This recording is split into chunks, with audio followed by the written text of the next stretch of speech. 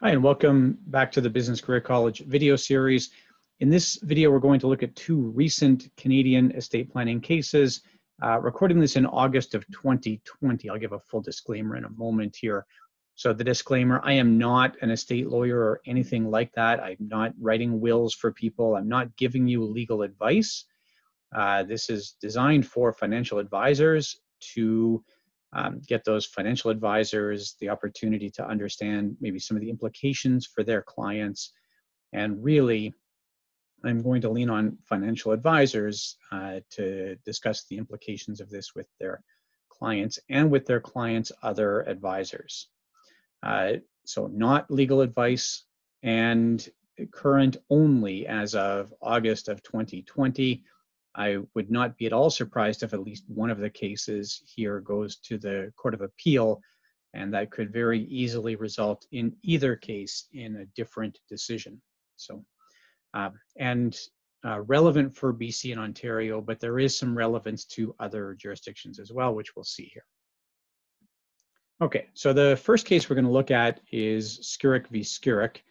And in this case, uh, we have, and I've laid out the facts here as uh, clearly as I think is appropriate for a PowerPoint slide.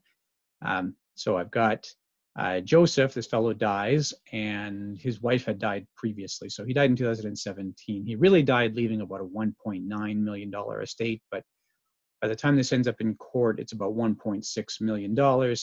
And then also leaves just under a million dollars of non estate assets. And it's not clear in the court documents what those are. It could have been uh, a RIF, could have been segregated funds, could have been a GIO or a GIA, uh, might have even been something owned jointly with Peter, although I would expect that would have been discussed, just given uh, what we'll talk about in the next couple slides, the implications of jointly owned assets in an estate. Now, this is a BC case, and BC uh, is uh, exceptional here. Nova Scotia is similar in that you do have obligations in your estate to take care. It's a moral duty to take care of your kids, no matter how old or independent they are.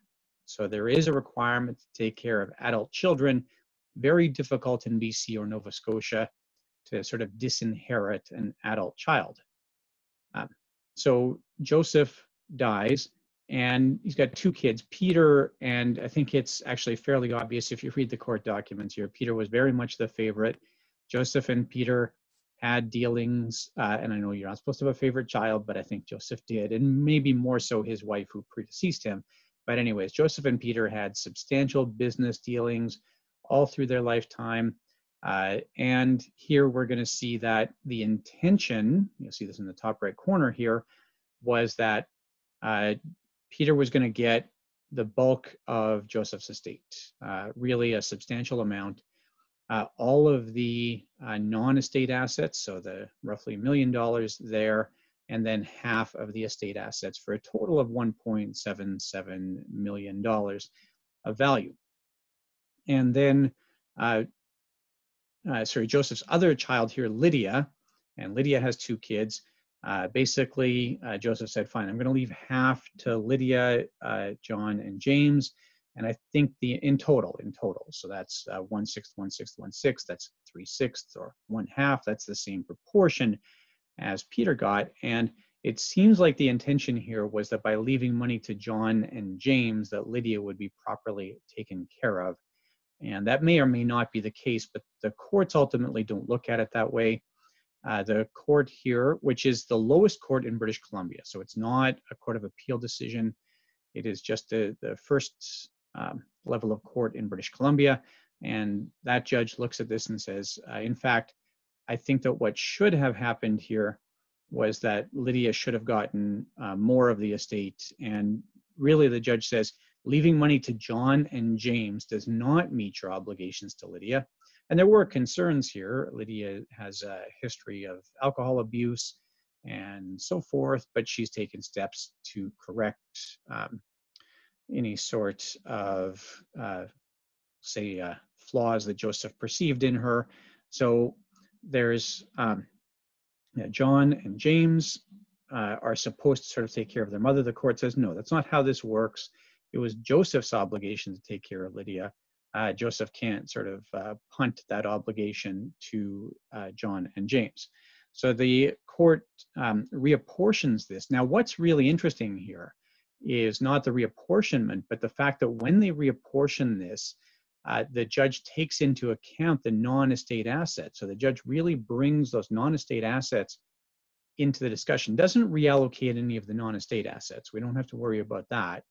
But uh, does say, look, because Peter got that big portion of non-estate assets, uh, that reduces the obligation to take care of Peter, and therefore uh, I'm going to uh, allocate Peter less than half of the estate assets because he's got such a big chunk of the non-estate assets, and we're going to leave uh, only a third of the estate to Peter, which really leaves two thirds uh, divvied up between Lydia and her kids.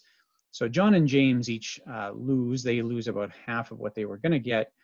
Uh, Lydia, however, has her gift significantly increased here, really at the expense of her own kids to some extent, uh, but mostly at the expense of her brother. So this case is interesting because it involves non-estate assets uh, being brought into the court's reallocation of the estate. Okay, the next one we're going to look at is an Ontario case. It's also a junior court case, so it has not gone to Court of Appeal uh, as of August 2020 anyways. Uh, before we get into the actual ruling in Kalmusky v. Kalmusky, we're going to look at Pecore v. Pecore, which is a very famous case.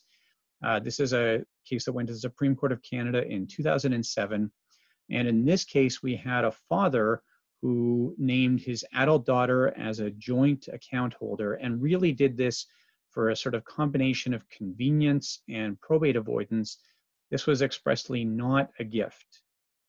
Now, this is where we get into a question around the concept of presumption of advancement. So if there is a presumption of advancement here, that means that joint ownership uh, would be seen to be a gift to Paula.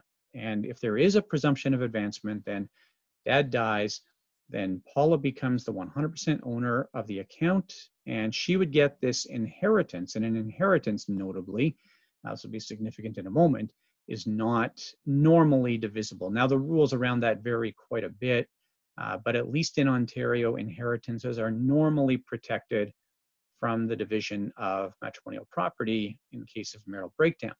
On the other hand, if there's no presumption of advancement, uh, then the account becomes part of the residue of the estate. Now, the will that uh, the father leaves behind here names curiously, Michael and Paula as 50-50 residual beneficiaries uh, does not name the siblings at all. And Michael was uh, seriously uh, disabled, so maybe that's part of why the father was motivated to do things this way. Um, but anyways, the question then becomes, uh, does Paula get this entire gift and is it an inheritance and therefore protected? Or uh, does the gift get split between Michael and Paula? And what ends up happening here, uh, not long after dad dies, uh, Michael and Paula actually obtain, uh, they go through a separation. I, I, I, say divorce here really for the sake of simplicity, but properly a separation is what of course triggers the division of matrimonial property. And they end up uh, with this dispute then because if there is the presumption of advancement, then this probably is not a divisible asset. Whereas if there is no presumption of advancement, then this probably is a divisible asset. So it's about a million dollars sitting in this bank account. It's a, you know, arguably a $500,000 spread between the two outcomes. The Supreme Court of Canada says, look, what dad's uh, express intent was here was to have this as a transfer of convenience and really just to uh, allow then Paula to do his banking for him and then not to have to worry about probate on that million dollars or so. This being Ontario, there would have been a $15,000 uh, probate fee as well. So father's sort of express intention was not necessarily to make this a gift to Paula, but rather to uh, transfer, or sorry, rather to make uh, sort of life easier for, for both of them. So the Supreme Court says uh, there is no presumption of advancement here. And in fact, uh, that means that this uh, gift is going to be uh, divisible between Paula and Michael. Okay, so what's the relevance of that case? Well, we then look at the Kalmusky decision. Now, since that Supreme Court of Canada decision in 2007, we have seen many, many uh, cases where that precedent was relied on. And this is really a little bit different from what we've seen in the past. Here, we have the same type of question. This time it's around a RIF, though. So with this RIF, and it's a, a bank product, so I assume it's a GIC. It might be a savings account, uh, but it's definitely a bank product. Um, and Henry had gone into the bank and named uh, Gary as the beneficiary on this RIF. So his son Gary named as the, the full 100% beneficiary on this RIF account with no other notations. The, the financial advisor working at the bank doesn't make any other notes about the reason for this uh, designation. So the assumption here is that it's to bypass probate. Uh, there's no tax advantage to this. There would still be a taxable disposition on Henry's terminal tax return, and Henry has other assets, so that would have been paid out of Henry's terminal tax return. However, this is not traditionally considered part of the estate.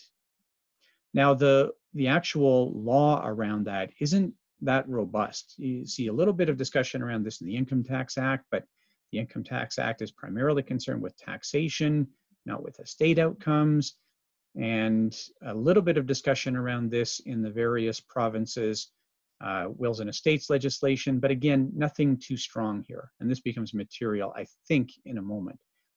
So here the judge says, well, look, if the if there was a no presumption of advancement in Pecore, and here there's no clear indication that this is supposed to be a, a, gift ultimately to Gary, that it looks more like Henry did this for, let's say, administrative purposes rather than gifting purposes, the judge says this looks a lot like Pecore, and therefore there is no presumption of advancement. So now the RIF becomes part of Henry's estate, which would effectively mean that Gary and Randy uh, split it under the terms of Henry's will. Uh, so the implications here, it's a lower court ruling in Ontario. Uh, you may see some crossover here with other courts wanting to apply uh, this precedent. And the reason for that, I would suggest, is because we don't get really good written law, no good statute around how RIF beneficiary designations work. This is already a fairly confusing issue, and you can find a history of really muddy case law here. Now, for those who are on the insurance side, I would suggest I would be less concerned about this. I'm not saying not to be concerned about it, but the Insurance Act is actually quite robust in its discussion of beneficiary designations. And I think that there would be an argument here that if this had been an insurance product, uh, let's say a seg fund held in a RIF, uh, that the Insurance Act might have given us a little bit more certainty that the intention here was really a true beneficiary. Uh, I'm not promising that at all. And there is, again, a little bit of murky case law around that. So what does all this mean? Well, really, it's a good time to go back and discuss discuss intentions with your clients.